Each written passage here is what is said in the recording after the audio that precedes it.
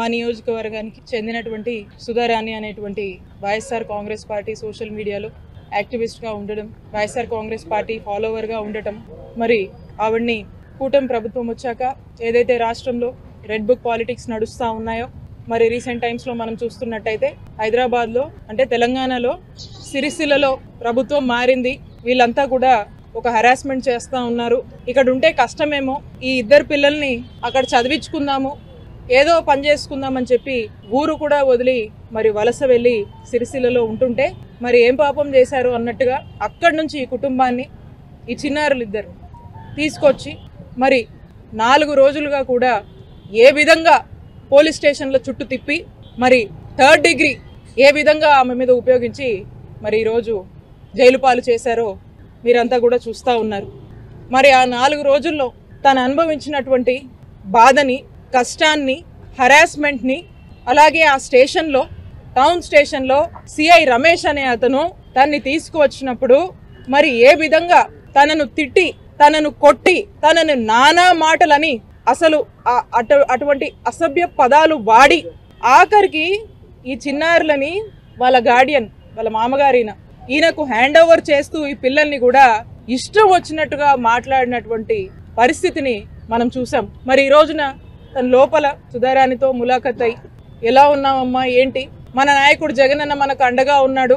మీకు భరోసానిమ్మన్నాడు మీకు మన పార్టీ తోడుగా ఉంటుంది అని చెప్పి ఒక భరోసాని తనకి ఇవ్వడం అనేది జరిగింది. మరి తనని కలిసినప్పుడు తను అనుభవించినటువంటి చిత్రహింసల గురించి చెప్తుంటే ఒక సాటి మహిళగా ఇంత దారుణంగా కూటమి ప్రభుత్వంలో మరి ఈ విధంగా ఒక మహిళని కూడా చూడకుండా మరి ఈ టౌన్ సిఐ ప్రవర్తించడము ఆ అమ్మాయిని ఇబ్బంది పెట్టడం అనేది చూస్తుంటే ఖచ్చితంగా నాకు అనిపిస్తూ ఉంది. మరి రాజకీయ ప్రెజర్స్ వల్లనో వాళ్ళు పోలీసులు కూడా మితిమీరి హద్దుమీరి చేస్తున్నాము అని వాళ్ళకు అనిపిస్తుందని నేను అనుకుంటున్నాను. అయినప్పటికీ కూడా ఈ పొలిటికల్ ప్రెజర్స్ వల్ల మరి ఈ విధంగా వీళ్ళు చేస్తున్నారేమో అని కూడా అనిపిస్తూ ఉంది. మరి తను తన బాధ చెప్పినప్పుడు ఫోర్ డేస్ తన్ని ఏ విధంగా స్టేషన్లోకి తిప్పి ఇబ్బంది పెట్టినటువంటి విషయాల్ని చెప్తూ ఉంటే ఏమైపోతున్నామో అసలు రాజకీయాలు ఏమవుతా ఉన్నాయి ఎక్కడున్నామో. ఇదా మహిళలకు కూటమి ప్రభుత్వం వచ్చాక ఈ విధంగా ఇబ్బంది పెడతా ఉన్నారు ఏంటి అని చెప్పి ఈరోజు మనం చూస్తూ ఉంటే వీళ్ళు చేసిన తప్పేంటండి? రాష్ట్రంలో ఉన్నటువంటి వైఎస్ఆర్సీపీ సోషల్ మీడియా యాక్టివిస్ట్ కానీ సోషల్ మీడియా ఫాలోవర్స్ కానీ వాళ్ళు చేస్తుంది ఏంటి? ఈ ప్రభుత్వము అనేక హామీలు ఇచ్చి కూటమి ప్రభుత్వం ఏర్పడింది. మరి ఈ ఐదు నెలల కాలంలో ఏ మాత్రం కూడా వాళ్ళు ఏమీ కూడా చేయలేదు ఏది పట్టించుకోలేదు. చెప్పిన వాళ్ళ వాళ్ళు చెప్పిన ఏ మాట మీద కూడా నిలబడలేదు. మీరు నిలబడట్లేదు అని చెప్పి ప్రశ్నిస్తే ఈ విధంగా నిర్బంధిస్తూ ఎక్కడికి తీసుకెళ్తున్నారో ఏ స్టేషన్కి తీసుకెళ్తున్నారో కూడా చెప్పనటువంటి పరిస్థితుల్లో ఒక భయాందోళన పరిస్థితుల్లో వైసీపీ అయితే చాలు ఇంకా స్టేషన్కి తీసుకెళ్తారు కేసులు పెట్టొచ్చు ఏదంటే అది అన్నట్టుగా మరి ఏ విధంగా ఈ ప్రభుత్వం వ్యవహరిస్తుందో మనం చూస్తూ ఉన్నాము. మరి అలాగే తను తను పడ్డ బాధని జడ్జికి దాదాపు ఒక గంట సేపు ఆ జడ్జి గారికి చెప్తే ఆ జడ్జి గారు ఆవిడ కూడా ఒక ఆడపిల్లకి ఇలా జరగడం ఏంటి? అని చెప్పి ఆవిడ కూడా బాధపడి ఇక ఏమీ చేయనటువంటి పరిస్థితుల్లో మరి ఆ స్టేట్మెంట్ని ఆవిడ కూడా బాధపడుతూ రికార్డ్ చేసుకున్నటువంటి పరిస్థితిని తను చెప్పడం జరిగింది.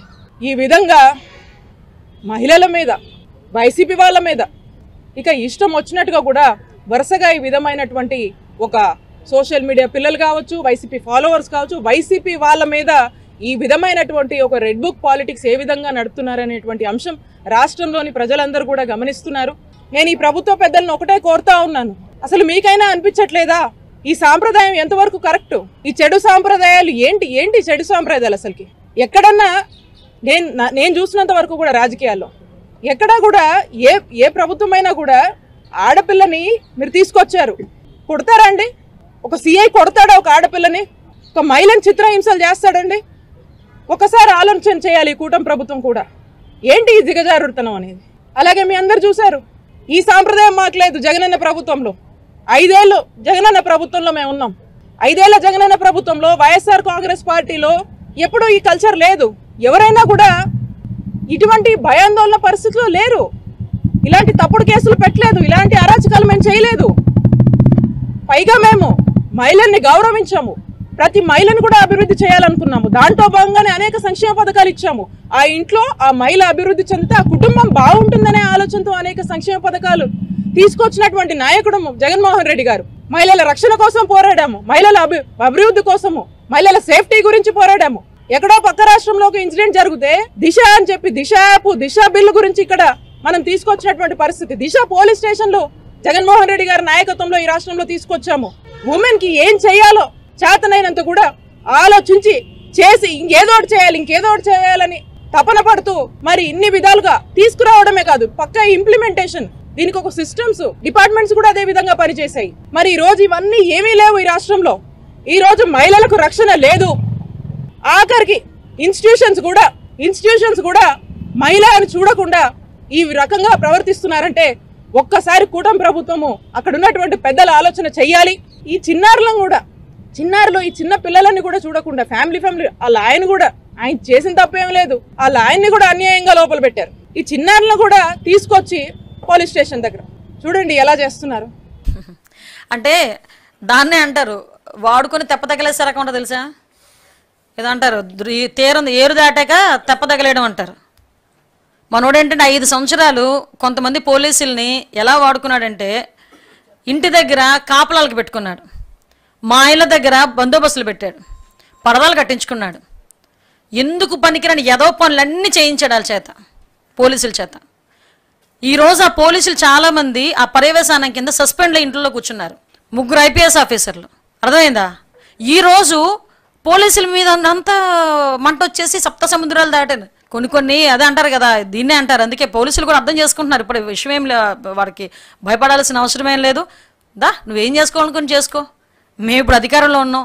మేము చేసే దాని గురించి భయపడిపోయి పోలీసుల మీద సప్త సముద్రాలు దాటి మేము పెట్టుకుంటాం అలా పట్టుకుంటాం ఇలా పట్టుకుంటాం. ఒకటి మాత్రం క్లియర్గా చెప్తున్నాం ఎన్డీఏ గవర్నమెంట్లో ఎవ్వరూ కూడా ఒక కార్యకర్త కూడా చట్టాన్ని ఉల్లంఘించి పనిచేయడు నీకు మళ్ళీ మరీ బరిదగించి ఉన్మాదుల్లా ప్రవర్తించే వాళ్ళు మా ఎన్డీఏ కూటమిలో లేరు. నీ దగ్గర ఉన్నారు.